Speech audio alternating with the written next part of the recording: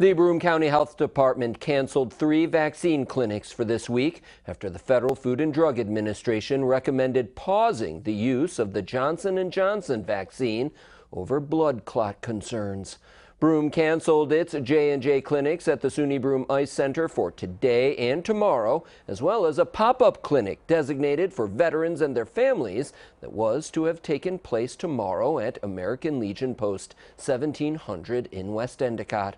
The Centers for Disease Control and the FDA are working to determine if there is a link between the vaccine and blood clots. Six people in the U.S. developed the clots within two weeks of getting the vaccine.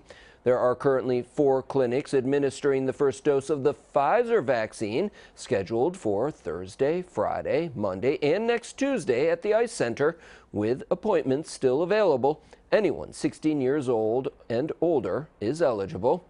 To register, go to gobroomecounty.com slash HD slash coronavirus slash vaccine.